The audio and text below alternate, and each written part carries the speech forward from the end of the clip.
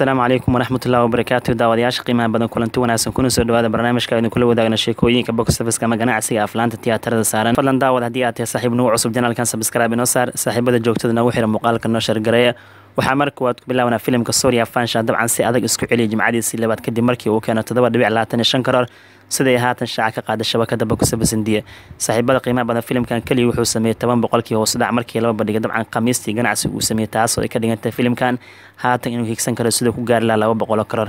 Waxay ka dhigantahay muddo sideed maalmo filimka lagu magacaabo soria fansh wuxuu soo xareeyey boqol labaatan iyo toddoba dhibic konton karoor sidoo kale waxaa laga weekendigiis laha markuu dhameysta filimka inuu gaaro boqol iyo konton karoor oo toban maalmood ganacsigiisa gudaha hindiga ku gaara sida haatan muuqato. Filimkan xiisaha badan akshay kumar hogaamiye ka yahay waxaa haatan u suuragalis dhankaasi gobolka loo yaqaano gujaraad inuu black baster ka noqday. Dhinaca kale markii la fiishay maharashtra bambay xarun u wuxuu ka noqday super hiid uu ka noqday. Halka dabcan cb balar iyo rajistan uu ka noqday hiid halka dabcan gobollada kale uu ka noqday ganacsaan average. Laakiin overall natiijadiis filimkan waxay noqonaysaa hiid ayay noqonaysaa sida muuqato. Saaxiibada qiimaha badan haddii uu dabcan toddobaadkiisa labaa ganacsi adag sameeya surya fanshi wuxuu u dalaci karaa superhiid sida haatan shabakada bokosofasindi ay daabaceysa marka filimkaasi qurux badan u gadmay. Muddo sideed maalmoodna wuxuu maraa boqol labaatan iyo toddoba dhibici konton karoor dhinaca kale shabakada bokosofasindi waxay soo daabacday surya fanshe golmaal again iyo houseful for ganacsigooda toddobaadka waa isbabadhigay ku sameeyay sababto ee saddexdan filim. Waa saddex filin waaweyn oo la daawada feestadii diwaali sanadihii ugu dambeysay. Soria fansh toddobaadkiisa kuwaad lacagta hindi odel wuxuu soo xaray boqol labaatan dhibic soddon iyo lix karoor. Lacagta nadiifka canshuurta kadib halka golmaal again asigana uu soo xariyay boqol soddon iyo lix karoor. Houseful foreign wuxuu soo xariyay dabcan boqol soddon iyo shan dhibic siddeetan iyo lix karoor. Houseful foreign waxaa la daawada feestadii diwaali laba kun toban iyo sagaal golmaal again waxaa la daawada feestadii diwaali dabcan laba kun toban iyo todoba sidaa darteed waxaa muuqato akshay kumar filimkiisa inuu ka agdhawaada filimada waaweyn ee dhowaanaha feestada duwali la daawada kuwaasoo dabcan black baster noqdeen ama guri lixaad la gaarin. Sababta ogaada filimkan xitaa konton boqolkiiba tiyaatarada qaarkood ayadoo xiranta dabcan kabasity ahaan ayuu ka agdhawaada golmaal again iyo houseful for ganacsiga ee sameeyeen toddobaadkooda koowaad. Xilligii dabcan filimadaas la daawanaya hindiya barwaaqay ku jireen oo dhibaatada covid nteen maba aysan jirin. Dhinaca kale aan soo qaadano today in history maanta kale taariikhan waxaa isku dhaceen filmadii jabtag hejan iyo sokole son of sardaar hogaamiyaalkan shaaruqan ajay devgan waana feestadii diwaali saddex iyo tobankii november sanadii laba kun iyo laba iyo toban labadan filim waxay noqdeen hiid dhammaystiran oo way wada guuleysteen. Jabtag hejan shaaruqan waxaa ku weeliyeen katina kefi anashuka sharma waana filimkii ugu dambeeyaa shabra uu sameeyey wuxuu noqday filimkan hiid asigoo soo xariyay boqol iyo kow dhibic konton iyo sagaal karoor. Waxaa lagu qarash gariyay toddobaatan iyo sideed karoor sidoo kale saami ahaan waxaa laga ku dhowaad konton iyo shan karoor waxaa sidoo kale tigid goosteen laba iyo toban milyan toddoba boqol lixdan iyo laba kun oo qofood. Lacagtii boqol iyo kow dhibic konton iyo sagaal karoor uu keenay filimka lagu magacaabo jabtag heejaan. Sagaal sano kadib waxay u dhigmataa boqol labaatan iyo toddoba karoor dhinaca kale sonof sardaar oo ajay devgan hogaamiyeka asigana wuxuu noqday hiid wuxuuna soo sideed karoor ayadoo lagu qarash gariyay filimkan karoor waxaa ku weeliyeen sandey duud sidoo kale sonakshi sinha iyo johi jawla. Filimkana saami ahaan waxaa laga sida diiwaan gashan karoor ama dabcan ku sagaal karoor waxaa tigid goosteen sida diiwaan gasha mashruucan milyan qofood. Ajay devgan wuxuu ka mid ahaa producerska filimkan. Sidoo kale lacagtii karoor uu keenay muddo haatan laga joogo. Sagaal sano kadib waxay u dhigmataa karoor. Dhinaca kale maanta kale waxaa soo baxay filimkii bardesi babu oo govinda ravina iyo soo kale shilbasheet ee sameeyay filimkan shactirada badnaay. Nasiib dara wuxuu noqday faloob asagoo cimri ahaantiisa soo xareeyay karoor. Waxaa la daaway november sanadii laba kun iyo siddeed iyo toban ayadoo lagu qarash gariyay shan karoor iyo bar. Bardesi babu saami ahaan waxaa laga sii diiwaan gashan laba dhibic afartan iyo sagaal karoor filimkan waxaa tigid goosteen afar milyan shan boqol soddon sideed kun oo qofood. Lacagtii shan karoor uu soo xaray filimka bardesi babu saddex labaatan sano kadib waxay u dhigmataa dabcan afartan iyo saddex karoor dhinaca kale bardesi babu waxay isku dhaceen filimkii mehendi oo hogaamiye ee keerani mukurji asna wuxuu noqday filim guuldareysta oo bilow average wuxuuna soo baxay saddex iyo tobankii november sanadii kun sagaal boqol sagaashan iyo sideedii filimkan guuldareysta wuxuu soo xariyay laba dhibic konton iyo shan karoor ayadoo lagu qarash laba karoor sababtu bilow average u noqda ama u guuldareystan waxay tahay qoliyaha cajaladaha qaybeen ay ku iibsadeen laba karoor waxayna saami ahaan dib kaga heleen hal dhibic toban iyo toddoba karoor mehendi sidoo kale waxaa tigid gosten sii diiwaan gashan laba milyan laba boqol konton iyo toddoba kun oo qofood. Lacagtii laba dhibic konton shan karoor uu keenay filimka mehendi muddo haatan laga joogo saddex labaatan sano kadib waxay u dhigmataa ku dhowaad laba iyo labaatan karoor dhibar markaana soo qaadana daawadayaasha qiimaha badan filimka lagu magacaabo kurub oo hogaamiyey kaya dabcan dalquur sulmaan ayaa u suura gashay inuu la imaado ganacsi excellent kadib markii gudaha hindiga daafaca caalamka maalinkiisa koowaad uu qabsaday filimka kurub waa mashruuc malayalam ee waxaa u suura gashay dhankaasi gobol kareela reer malaayalama iyadoo kabasity konton boqolkiiba tiyaatarada xiran yihiin.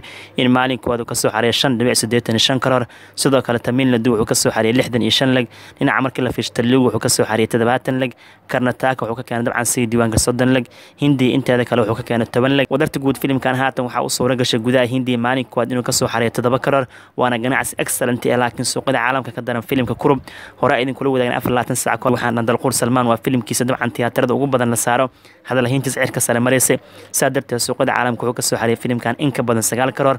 Dhaywan waxay ka dhigantay world war garooskiis dibad iyo dal filimkan. Wuxuu soo xareeyay lix iyo toban dhibic lixdan karoor wuxuuna la imaaday bilaabasho heer saraa marka dalquur salmaan wadadaha loo baneeya filimkiisa sabdi axadna way ka danaan doontaa. Hubanti ahaan ganacsiga uu sameyn doono mashruucan xiisaha badan waxaa lagu qarash gariyay soddon iyo shan karoor. Saa darteed waxaa kalsooni badan lagu qaba week endii kowaad ganacsiga inuu soo xareyn doono. Kadibna filimka lagu magacaabo kurub uu noqon doono super heat ama dabcan heat dhammaystiran saa darteed marka fanka mollywood ee loo yaqaano dhankaasi malaayalamka kareela uu soo laabtay. Dhowaanahan saaxad ay ka maqnaan tiyaataradan way xirnaayeen. Haatan tiyaatarada markii dib loo furan filimka kurub ayaa dabcan ku dahafurtay oo si excellent business kaga bilowday weliba ku dhawaad lix karoor ka soo xariir dhankaasi kareela marka dalquur salmaan hambaliyaan leenahay filimkiisa kurubna sheekadiisa waa la ammaanay waa idinla wadaagana shalay oo jimco ah maantana ganacsigii la filaya ka badan ayuu la imaaday maadaama lix iyo toban dhibic lixdan karoor dhaywan uu keenay ganacsigiisa guud markii la isku daro dibad iyo dal aragtidiina ka dhiibta marka dalquur salmaan filimkiisa kurub wacdalaha ay dhigeen dhaywan markii la fiiriyo dibad iyo dal. Dhinaca kale daawadayaasha qimabada filmadii taluugu ahay ee masraxa ku cusbaa waxay la imaadeen ganacsi burbur ku dheehan oo labadaba waxay noqdeen filimo burbureen gaar ahaan filimka lagu magacaabo raja fikra markaa hogaamiye kaye actarka lagu magacaabo kartagiya ayaa baroon wuxuu soo xariyay hal karoor bar maalinkiisa koowaad. Saami ahaan waxaa laga filimkan lixdan iyo laba leg dhinaca kale filimka lagu magacaabo bushbaka firmanam oo hogaamiye u kaye actarka lagu magacaabo ananda difrogondo asigana si disaster ku dheehan uu ku bilowday oo wuxuu soo xariyay sida u diiwaan gashan hal oo keliya. Saami ahaana filimkan waxaa ku dhawaad konton laga helay diiwaan gasha marka labadan filimba sidii laga filaya si ka liidatay ku bilaadeen inkastoo lacaga aad iyo aad u yar lagu iibsaday oo aan dabcan idinla wadaagin afar labaatan sac ka hor.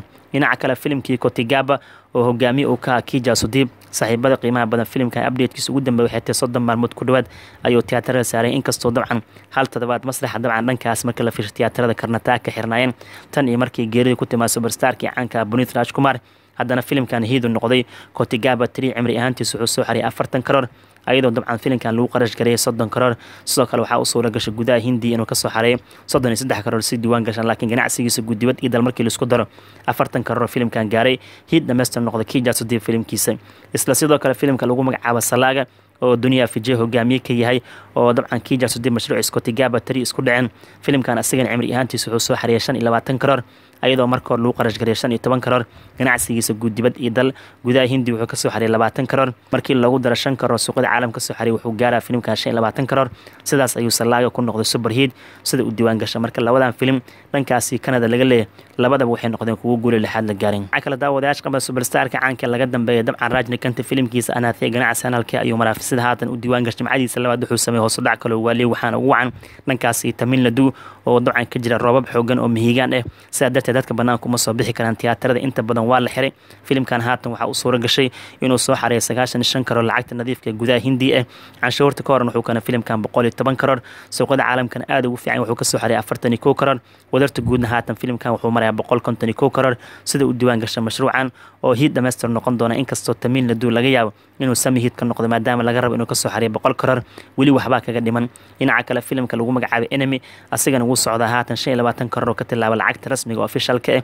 Ganacsigiisa guddibad iyo dal gudaha hindiina wuxuu ka soo xariyay labaatan karoor filimkan. Sidoo kalena suuqyada caalamka wuxuu ka soo xariyay shan karoor taasoo ay ka dhigan tahay mashruuc ay ku xifaaltameen fishaal iyo arya inuu haatan hiid dhammaystiran noqday filimkan. Sababtoo daawadayaasha qimada qoliyaha cajaladaha qiima lacagtoo dib ugu soo laabatay saa darteed waxay ka dhigan tahay marka enemy waa hiid dhammaystiran anaathi haatan wuu guulaysa laakiin siduu hiid dhammaystiran ku noqon lahaa waa in dabcan ilaa boqol iyo siddeetan karoor uu gaaraa taasina dabcan shaqo badan u baahan tahay saaxiibada qiimaha badan guud ahaan barnaamijka idin kula wadaagaynay arrimaha boxsabiska ama ganacsiga aflaanta.